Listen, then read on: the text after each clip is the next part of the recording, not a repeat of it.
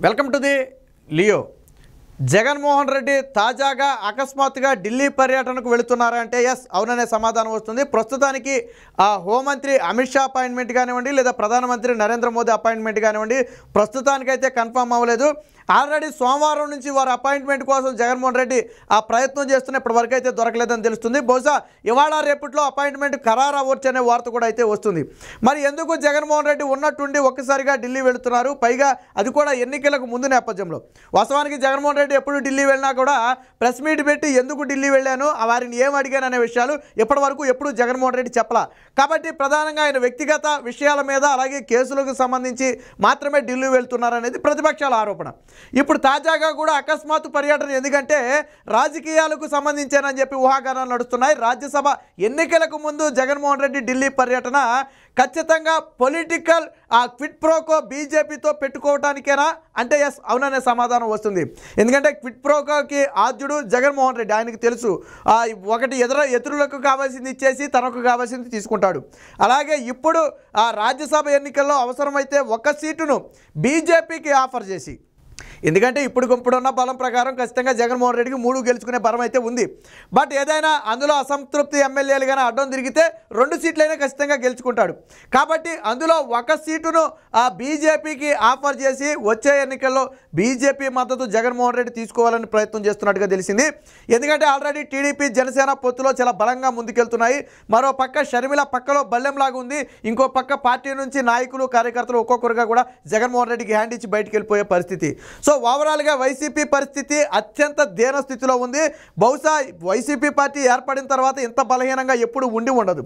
కాబట్టి ఇలాంటి పరిస్థితుల్లో ఎన్నికలకి వెళ్ళటం అంటే జగన్మోహన్ రెడ్డికి తలకు ఆ తలకు మించిన భారంగానే చెప్పాలి ఒక పెద్ద సాహసం చెప్పాలి. ఎందుకంటే యుద్ధానికి అక్కడ సైనికులే సిద్ధంగా లేని పరిస్థితి. నూట డెబ్బై ఐదు నియోజకవర్గాల్లో ఎమ్మెల్యేలు ఇరవై ఐదు ఎంపీలు కూడా పూర్తిగా జగన్మోహన్ రెడ్డికి దొరకని పరిస్థితి. ఇలాంటి నేపథ్యంలో ఎన్నికలు దగ్గర పడుతున్నప్పుడు ఖచ్చితంగా కేంద్రం అండలేకపోతే తాను ఏమీ చేయలేనని భావించిన జగన్మోహన్ రెడ్డి ఈసారి కేంద్రం అండ కోసం తా- వారికి ఒక ఎంపీ స్థానాన్ని ఆఫర్ చేసి రాజ్యసభ స్థానాన్ని ఆఫర్ చేసి వారి నుంచి లబ్ధి పొందే ప్రయత్నం చేస్తున్నట్టుగా తెలుస్తుంది. ఇదే సమయంలో జగన్మోహన్ రెడ్డికి ఎన్నికలకు వెళ్ళడానికి ఖచ్చితంగా నిధులు కూడా కావాలి. సంక్షేమ పథకాలు ఆల్రెడీ కొన్ని పెండింగ్లో ఉన్నాయి. వాటిని ఇవ్వటమే కాకుండా ఎన్నికల టయానికి కొంత ఆర్థిక అవసరాలు కూడా జగన్మోహన్ రెడ్డికి అవసరం. పైగా కాంట్రాక్టర్లకు బిల్లు బిల్లులు చెల్లించలేదని చెప్పి వాళ్ళంతా కూడా చాలా గుర్రుగా ఉన్నారు. ఇదే సమయంలో వా బీజేపీ నుంచి కొంత నిధులు కూడా ఆ ఎన్నికలు గట్టెక్కడానికి నిధులు కూడా తెంచుకుని కాంట్రాక్టర్లకు ఆ బిల్లులు చెల్లించేస్తే వచ్చే ఎన్నికల్లో వాళ్ళు కొద్ది గొప్ప పెట్టుబడి పెడతారనే ఆశ కూడా జగన్మోహన్ రెడ్డిలో ఉంది. ఏది ఏమైనప్పటికీ కూడా ముఖ్యంగా షర్మిల ఇష్యూ కూడా.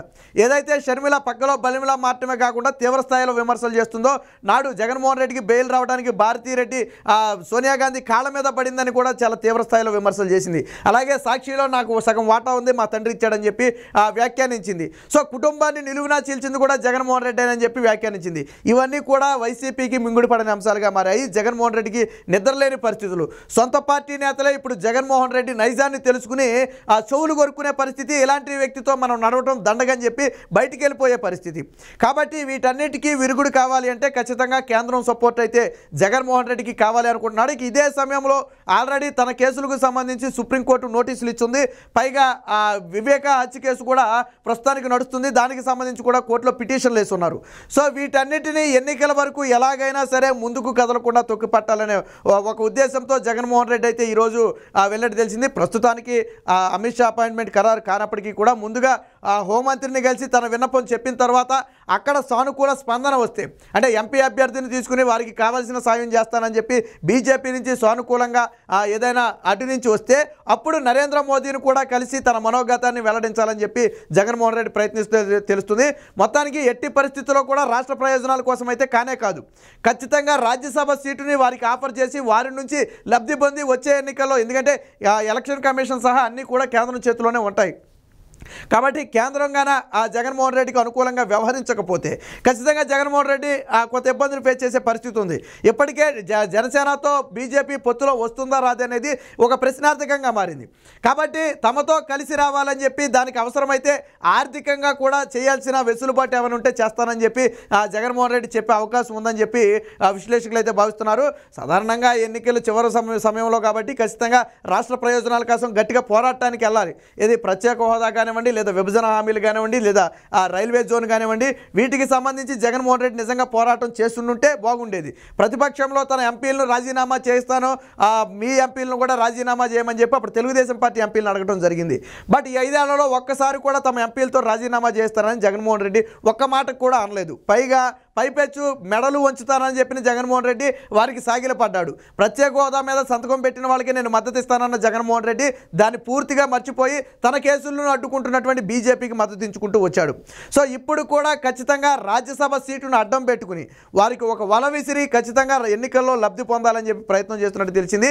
అయితే ఆల్రెడీ విషయం ముందే తెలుసుకున్నటువంటి ఇక్కడ ఏపీ బీజేపీ నేతలేమో జగన్మోహన్ రెడ్డి మీద తీవ్రస్థాయిలో విమర్శలు చేస్తున్నారు. బట్ కేంద్రం నుంచి మాత్రం జగన్మోహన్ రెడ్డికి ప్రతిసారి సహకారాలు అందుతూనే ఉన్నాయి. అదొక విచిత్రంగా మారింది. మరి ఏపీ బీజేపీ ఇక్కడ విమర్శించడం ఏంటి? అక్కడ ఆ కేంద్రంలో ఉన్నటువంటి బీజేపీ పెద్దలు జగన్మోహన్ రెడ్డికి సహాయం చేయడం ఏంటి అనేది ఎవరికి దిక్కుదోచని పరిస్థితి.